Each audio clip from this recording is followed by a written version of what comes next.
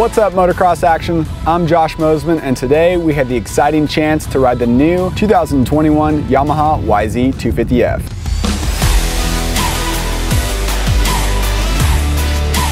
In recent years, the 250 class has turned into a high revving arena where a majority of the engines have to be revved to 14,000 RPM to really get going. Yamaha is really the only manufacturer making 250Fs with low end grunt. Yeah, the Suzuki still has power down low, but it's been neglected over the last few years. Yamaha has worked hard to refine their 250F and it shows on the track with its uniquely strong low to mid power placement, throttle response, and acceleration rates. The 2019 YZ 250F easily won MXA's shootout, but it didn't get any updates for 2020 and we ranked it second behind the KTM because after riding it back to back against the orange bike, our testers wanted more top end power and longer intervals between shifting points. Still, it placed second and we called it the best all around bike for novice racers because it was easier to ride fast and didn't need to be revved to the moon. Now, for 2021, Yamaha has made big changes to their YZ250F and it seems like they've been working hard. Now, for 2021, Yamaha has made big changes to their YZ250F and they've been listening to MXA as the update list shows that they're really trying to achieve more top end power with this new model.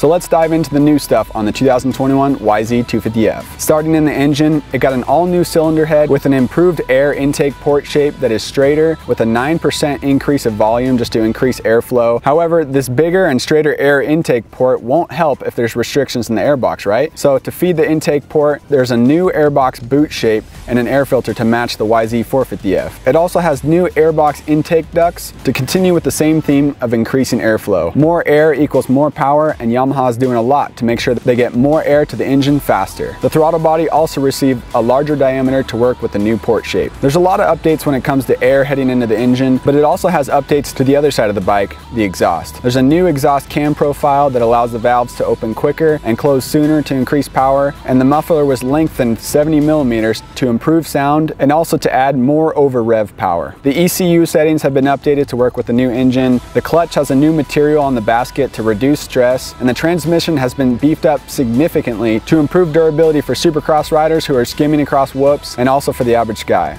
To also increase durability, the crankcase, cam chain, cam chain tensioner, along with the water pump and water temperature sensors have been refined to be more durable as well. Diving into the chassis, like the KX250 got the KX450 frame this year, the YZ250F also got the upgraded YZ450 frame that we saw on that bike back in 2020. The new frame and the bodywork on the YZ250F don't look a whole lot different to the untrained eye and the bodywork is actually the same. However, the aluminum frame does have slightly thinner lateral beams and slightly thicker engine cradle tubes to help with bump absorption and cornering performance. To work with this, the engine mounts were also adjusted and funny enough, the top mounts were changed from aluminum aluminum to steel, and the front mounts were changed from steel to aluminum. To continue with the chassis updates, the top triple clamp was revised to reduce rigidity and the front axle was also increased by 1.4 millimeters to also decrease rigidity at the hands. To work with these changes, the Kayaba SSS forks and the Kayaba shock have updated settings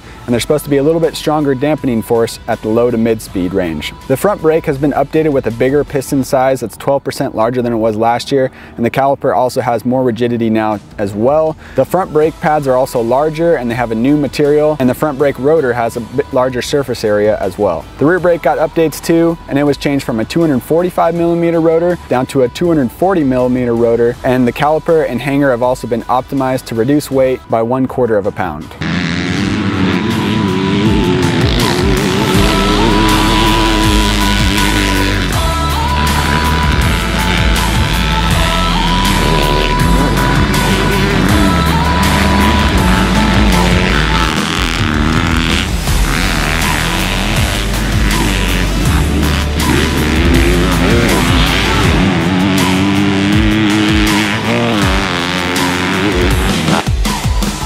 That's all for the updates on the new model. Now let's dive into the exciting part and what you really came here for, our first impressions after day one of riding. Daryl Ecklund and myself put a lot of time on this bike. When I say a lot of time, I really mean it. Put almost three hours, just under three hours on the 2021 Yamaha YZ250F. And we also had a fresh 2020 model to compare with it, go back to back, and a few other brands to compare them as well. First lap on the track, there's two major things that stuck out to me. One, the bars The handlebars are in the third position, so that means that they went from the back holes on the top triple clamp to the front holes, and also the bar mounts were turned around. So this brings the handlebars about 16 millimeters farther forward than they were last year. This is also how the YZ450F came in the 2020 and 2021 model years. Overall, the MXA Wrecking Crew, we kind of have mixed opinions on it. A lot of our guys like them in the back holes with the bar mounts pointed forward. It was definitely a big change to have them farther forward.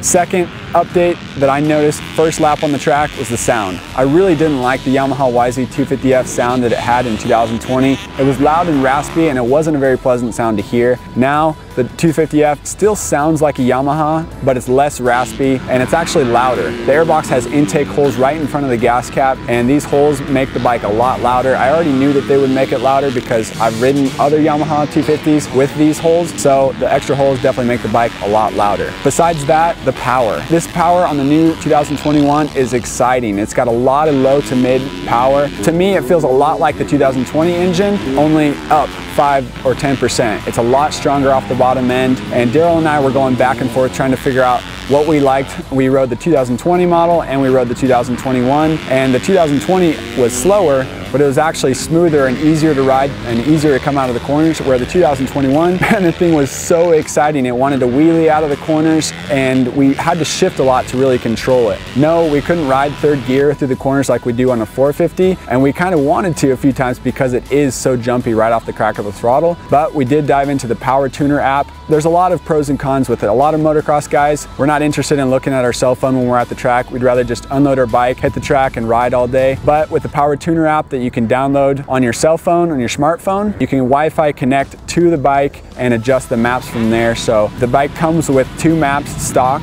and the nice part is that you can adjust the maps while you're riding. I really appreciate that.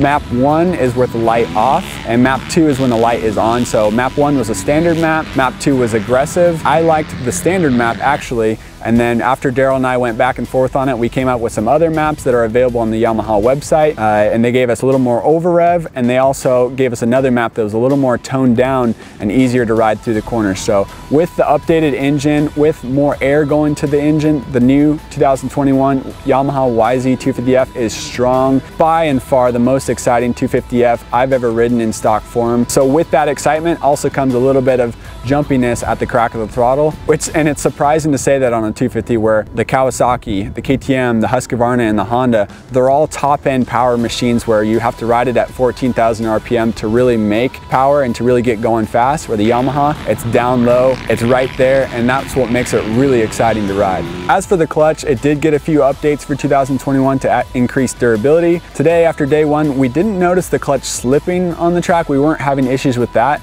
but we were having to adjust the clutch a lot as there was a lot of free play after we were doing laps and smelling hot.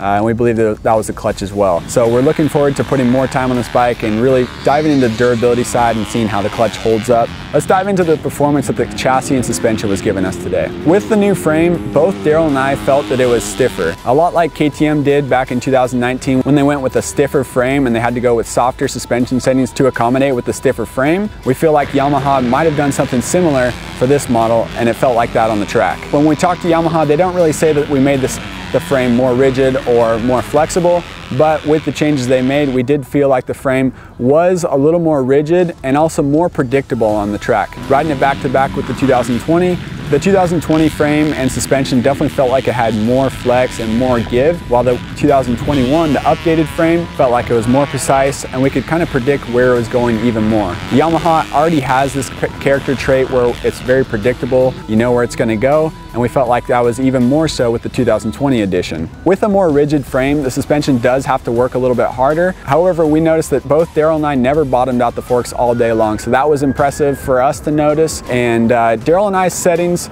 were completely different, and normally we can find a setting that we both agree on. Today, the track was super rough out here at Glen Helen. As you'll see in the video, Daryl actually went softer than the regular stock clicker settings while I actually went stiffer. So this was unique for us and we figured that his settings were more tailored to a vet an average rider that wanted a little more plush feeling while I wanted a little more hold up as I was hitting the bumps a little bit harder. With the forks, I went three clicks stiffer on compression and two clicks slower on rebound, while Daryl was actually six clicks softer on compression when compared to stock and one click slower on rebound when compared to stock. So big difference for us there. Daryl also liked the sag at 105. He liked the rear end to drop down a little bit while I was comfortable with it at 103. As far as the shock goes, we had zero complaints. The Kayaba shock was amazing for us today, and we didn't make a lot of adjustments. Daryl left it with the stock settings, while I went three clicks stiffer on compression and one eighth of an inch slower on rebound in the shock. Overall, we did like the front brake. No, it wasn't like the Brembo brakes that we find on the KTM, but the bigger pistons does show that Yamaha is working to make their front brake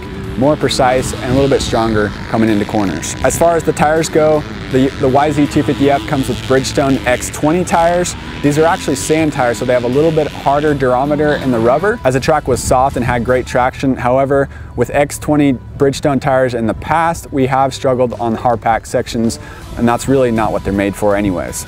And as always, today was just day one of riding on the new 2021 Yamaha YZ250F. Yes, we did put almost three hours on this bike. Yes, we did compare it with other bikes.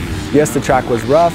However, we have a lot more time to put on this. We're gonna be breaking down durability. We're gonna be adjusting the gearing and seeing what we can do to refine that. We're gonna be playing with the Yamaha Power Tuner app to really dial in the power and get what we're looking for there. We still have a long way to go on this bike. To check out the in-depth details on the Yamaha YZ250F, you can check out a printed edition of Motocross Action Magazine at the newsstands or by subscribing to our magazine and having it mailed straight to your door. You can do that at motocrossactionmag.com and while you're there, make sure to check out the latest news, reviews, interviews, race results, and more because we got it all on our website, motocrossactionmag.com. And if you're on YouTube, make sure to hit that subscribe button to stay up to date with our latest YouTube uploads. And also, we just tested the KTM 250 SXF and also the new KX 250 from Kawasaki. We have those first ride videos available for you right here.